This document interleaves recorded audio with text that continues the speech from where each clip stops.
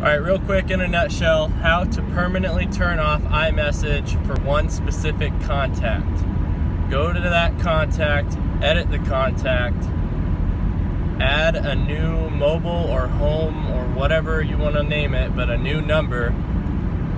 Retype in that contact's number, existing number, delete the old one, save it, and it will automatically switch it from an iMessage to an SMS message. Um, for example, I had a friend of mine who had an iPhone who is now Android. So his contact, every time I tried to text him, it would not go through right because it would send it as an iMessage versus an SMS.